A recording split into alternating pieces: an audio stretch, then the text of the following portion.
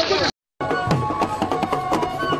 It was an exciting moment to behold as President Muhammadu Buhari watches with great satisfaction and fulfillment as Kebbi State showcases monumental achievements in rice farming and conveying the pleasurable feelings of its farmers, many of whom turned millionaires through the Rice Revolution program of his administration.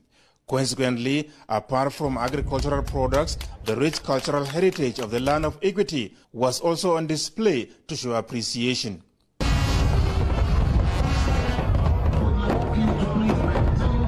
Although 24th in its series, the Argungu Fishing and Cultural Festival was last celebrated 11 years ago as a result of security concerns.